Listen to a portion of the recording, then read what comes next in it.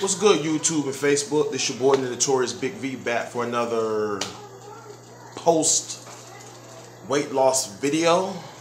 Um, my surgery is currently currently scheduled for July 27th. That's one week from this Friday. I got some big, big, great news. This stack of papers you see, all of these papers are all of my clearances for the surgery um, from the cardiologist, the pulmonologist, the, the chest x-ray, um, the final, final, final clearance from my primary doctor. It's been a long journey. Um, I've Aetna through the school board and with the exception of my primary, all those other doctors were specialists, and it was forty-five dollars a copay, and that just sucks ass. I am just gonna keep it real with you. Um, and then this last Friday, I had to go pay the surgeon five hundred dollars. That broke my heart. But oh, by the way, I apologize if you hear my kids calling my name.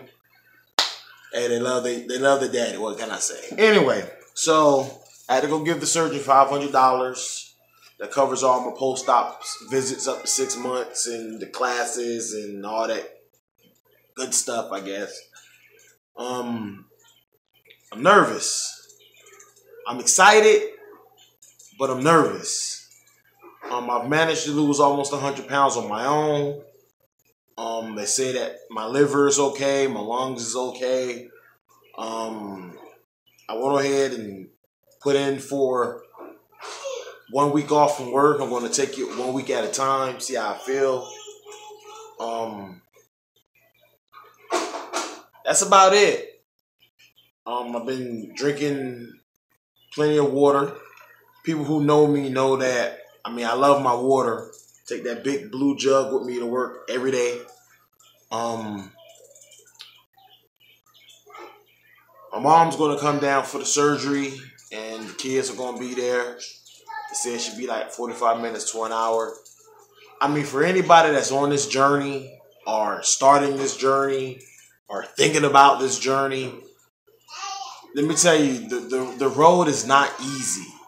I mean, I guess it's designed that way to see if you're really serious about it. I mean, I can't speak about other insurance companies, but Aetna, while you're on this journey, if you gain even one pound, even a half a pound, if you're a woman and you're on your menstrual, they do not care. They would deny your claim. So to stick to this strict diet, it was definitely a challenge. It was it's my kids. It was definitely a challenge. But I did it. I did it. So all we got now is just the waiting game try to get things in order, start slowly packing my bag for the hospital, making sure my kids got the tablets and everything that they need. You know, just we're gonna roll with it. I don't know what time I gotta be there. Oh yeah, I went and picked up the med the medicine that I'm supposed to um take right after the surgery. The um hear my son calling my calling daddy. Um calling um not calling. Um you gotta take some medicine to remove the acid from your stomach and you gotta um take a blood thinner to make sure that you don't have no um no blood clots. Um, that's only for a couple of days or whatever. You got to do a lot of walking. So those two medicines alone was sixty dollars. So big up to Walmart for raping me with no lube. Um, so I mean, I'm doing this for me. I've been heavy set my entire life, but I'm really doing it for the two boys that you hear in there screaming my name. mainly doing it for them because I'm 33 and I want to be around to see 133. So that's that's basically my reasoning behind it. Um, diabetes, type 2 diabetes running the family, high blood pressure, high cholesterol, all that stuff running the family. I'm not trying to get that. So this is the you know preventative measure you know, a lot of people say I'm trying to do this to um look cute. Look, I'm cute with the fat. I'm just keeping it real. That's just me. You might not like it, but I love it. Nevertheless, um, so that's about it. So that's my update. Um, I'm gonna try to update again in probably a couple of days. If not, um, definitely the day of the sur- the night before the surgery and the day of the surgery, all day. Um, before they take me back, I'm gonna try to have somebody, you know, recording like the screen that shows where you at doing the surgery. Um, and record me in recovery, and then kind of like narrate for me till I'm able to speak again. Um, as far as like a like a last dinner type last hurrah, uh, I'm not even really interested in eating anything. I don't have much of an appetite. My um anxiety is you know through the roof.